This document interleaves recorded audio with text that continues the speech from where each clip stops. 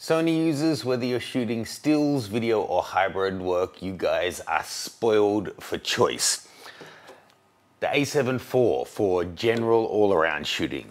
A7S III for higher end video work, although it's a little outdated now. The A7C II for compact cinema work with more up-to-date specs in some ways. The A1, an absolute powerhouse, a combination of high res and high speed. This thing is just as capable on Safari as it is in studio. Or Sony's real studio camera, the a7R5, high resolution, bit slower, but great thing about all of them, they really do walk that line between stills and video with more of a focus here or there on one thing or the other. Plus, there's the new guy, which has literally, in the last 10 minutes, arrived at my door. Shout out to B&H Photo for getting one out to me. The new A9 III.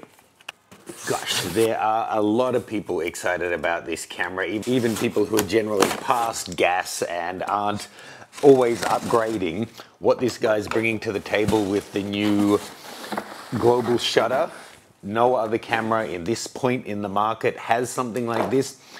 I can see why sports shooters in particular are so excited about this guy. Um, in this video, I literally, I think I'm the only YouTuber that hasn't already had time with it, so I'm literally unboxing it for the first time right now. Um, in this video, I'm planning to do the unboxing and then do a buffer test for you. I saw a post online, I think it was Sony Alpha Rumors sharing a test someone did. I guess it had to be a joke or a troll showing how long it takes to clear the buffer using a really old-fashioned SD card. But it did come to mind because I was recently testing another camera, you'll see details on that one later, um, and, you know, depending on what media type you're using, as cameras get faster or higher resolution, there is the issue of how long is it going to take to clear the buffer if it's locking you out from making adjustments for your next shot. So I'm going to shoot not using troll cards. I'll be using Sony's top of the line uh, class 10 300 megabyte per second cards and for SD and for CF Express A ProGrade Cobalt 160 gigabyte. Top speed cards, I'll run each of the different formats, let you know how many shots they got off before it locked up, as well as how long it actually took to clear the buffer to be able to then go into the menus and everything. Before we do the buffer test, I am planning, as I said, to do a full review on this guy. It's going to be during my time in Japan, so please let me know what you would like to see in that review. I'm going to be filming it over the next couple of weeks. If you're in Tokyo, see details below. I'm going to be holding a photo walk whilst I'm over there.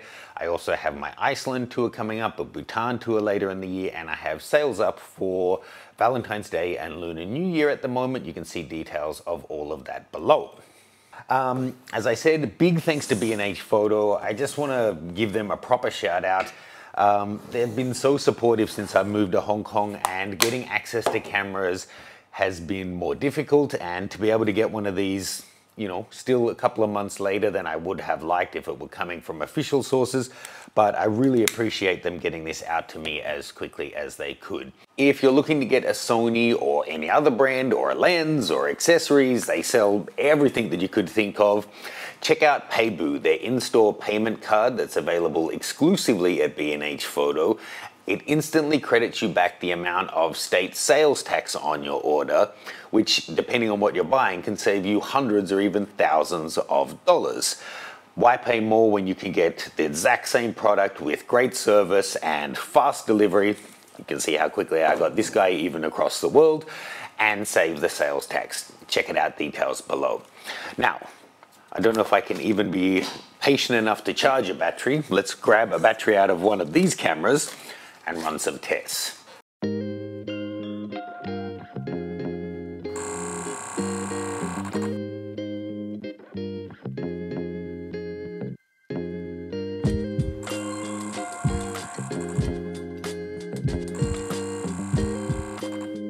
One eternity later. Okay, so that was actually a really interesting series of tests. I first tested it with the Sigma 85 and with no mechanical shutter and just having the brrr, it can be kind of hard to tell from the sound if you're shooting 15, 20, 50, 100 frames a second. It's just a whir of burrs. I did the test and in all the right settings, it could only get off about 24, 25 frames per second only. I mean, that's mind bending already, but it's also only uh, 20% of what the camera is capable of. So I checked and the 24 to 70 G2 and the 70 to 200 are both compatible with the 120 frames a second.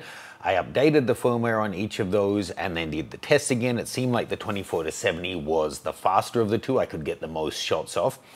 And then we ran through and did all of the tests. Now I will put the table on screen here for you, but I'll also make it available to download over at my website.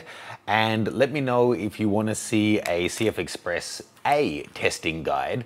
I have one for CF Express B where I've tested dozens of different cards and tell you which are the fastest cards.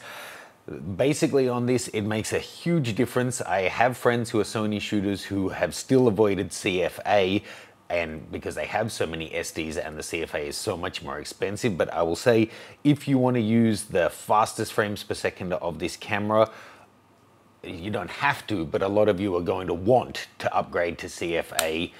It may be finally the time. So here's the test that I did. I did uncompressed RAW, lossless compressed RAW, large, and compressed RAW, as well as JPEG extra fine. So I did that just to CFA and just to SD, each time testing how many shots we got off and how long it took to clear the buffer. Then I did raw, uncompressed and JPEG extra fine, splitting them between the two cards, raw obviously to the CFA, JPEG to the SD, and then I did top quality raw and JPEG just to the CFA and just to the SD card. Now, I don't know if you want to sit through me reading out all of these results, but I'll try to do it quickly. Let's start out with the ProGrade Cobalt 160, which is just about the fastest CFA on the market. Um, uncompressed RAW, we got off 106 files and it took 8.1 seconds to write them. Lossless compressed large, it got off 106 files and it took 5.5 seconds. Compressed RAW, it got off 201 and took 9.8. Uh, JPEG extra fine, it got 206 and took 9.6. So you can see compressed RAW and large JPEG extra fine, it's not a whole difference. Uh, then doing both RAW and JPEG just to the CFA, it got 104 shots off and took 10.1 seconds.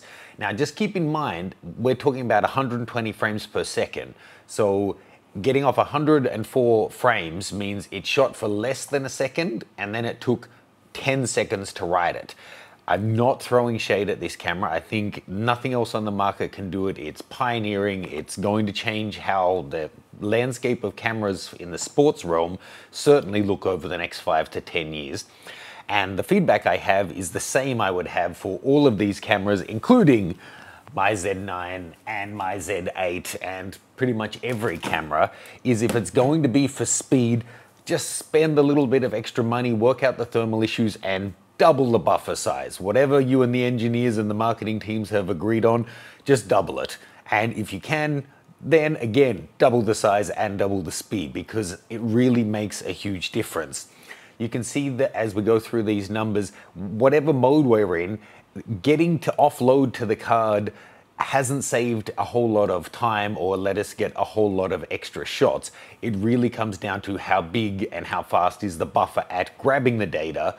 And then it, you know, it's a second calculation of how long it takes to actually write it out.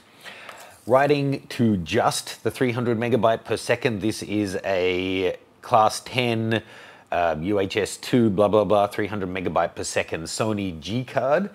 Uh, uncompressed RAW, it got 103 shots and it took 22.3 seconds to write. Lossless compressed large, 102 shots, 13.5 seconds. Compressed RAW, 201 and it took 22.8.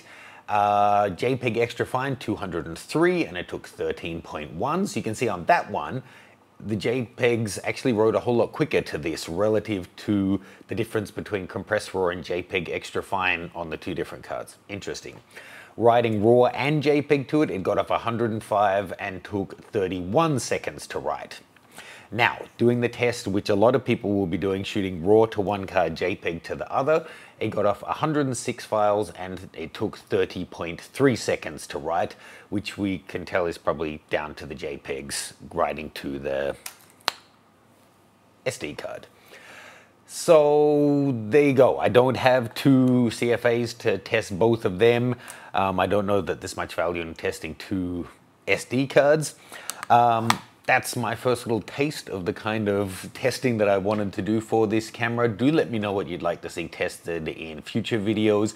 If you're happen to be in the Nikon, Hasselblad or Fuji realms, check out my user guides. Their details are below. You can also see my Tokyo photo walk and the different courses that are on sale right now. Let me know any questions you have on what you'd like to see me test in this guy in the next two weeks. I'll see you soon.